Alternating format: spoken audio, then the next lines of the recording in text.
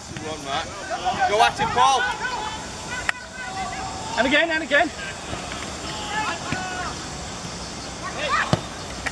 Oh.